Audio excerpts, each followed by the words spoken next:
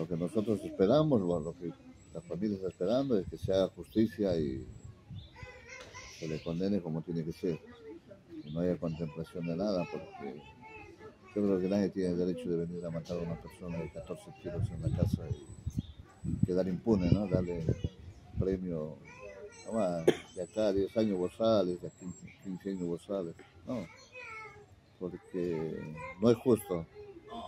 No digo porque es mi papá, sino que digo porque es un referente social que siempre estuvo luchando, no solamente por nosotros, siempre luchó por la gente.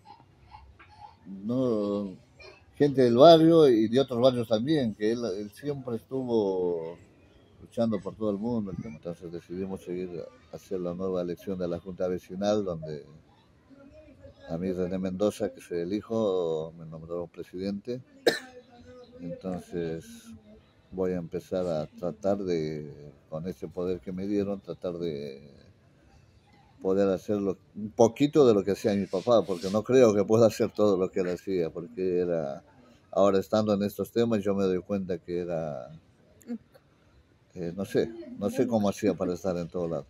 Yo ahora me pongo a pensar y digo, ¿cómo hacía para ir al municipio de acá, a San Justo, a La Plata, a un lado, a otro lado? No, no entiendo. Pero vamos a tratar de que de levantar un poco el barrio para que esté un poco mejor, para que sea como él dijo, ¿no? Que quería que la gente viva en un barrio de verdad.